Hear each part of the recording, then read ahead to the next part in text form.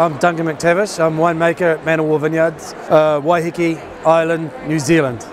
Most people associate New Zealand with Marlborough, but Waiheke is, um, is, is quite different. It's very unique in that it's, um, it's, a, it's an island, so coastal viticulture. We have very warm nights, and so we get a very nice degree of ripeness, but we have quite a diverse range of wines. And the way that we achieve that is by growing on hilltops or, or deep valleys. Um, and it's, it's all about the exposure to the coast and the cooling sea breezes um, for the whites and for the reds, very sheltered, uh, steep hillside vineyards.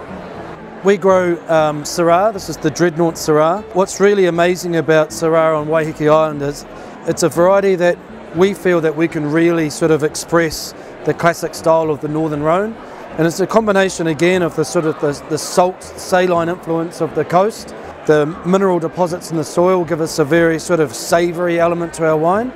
So it's a, it's, a, it's a new world wine, there's a lot of fruit, but we get a huge amount of sort of savoury complexity um, really vibrant acidity and great tannins. And we sort of feel that it's, um, it's a really nice wine to sort of pay respect uh, to the Northern Rhone, which is a region that I um, particularly love. So um, personally, you know, I'm, I'm really impressed with uh, with the with the with the wine fair, and it's just a continuation of this really amazing um, relationship that we have with O'Brien's, and um, just such a fantastic people, fantastic products, and um, you know, just having such a great time. So we'll be here next year.